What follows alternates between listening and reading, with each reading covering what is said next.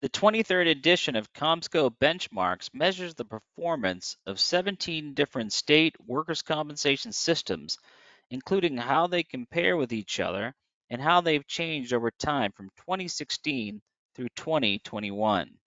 Since the report includes experience and claims through March 2022, it provides a look at how the pandemic impacted non-COVID 19 workers' compensation claims in the first two years of the pandemic.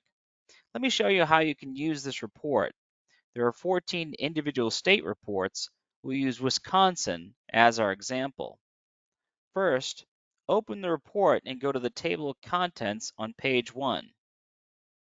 Click on the Summary of Major Findings. This is a concise two to three page analysis of the major drivers of cost per claim and other system metrics in the state and how they have changed over time. We tailor the analysis to the most important policy issues in the state, including any major regulatory changes. Notice the square buttons on the side of each page. Just click on a button and it will take you to that section of the report. Next, we click on the major findings slides. The slides show the report findings visually in more detail, telling the story in picture form using graphs and charts. Notice that the slides have side notes which provide additional information about the data or state system features.